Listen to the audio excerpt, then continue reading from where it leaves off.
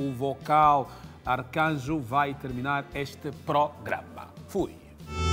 Pai nosso que está nos céus, santificado